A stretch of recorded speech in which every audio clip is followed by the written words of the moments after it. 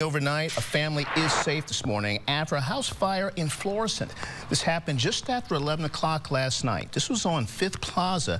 Fire officials say a man was welding something when the fire started. We do know that a dog was rescued and later taken to the vet.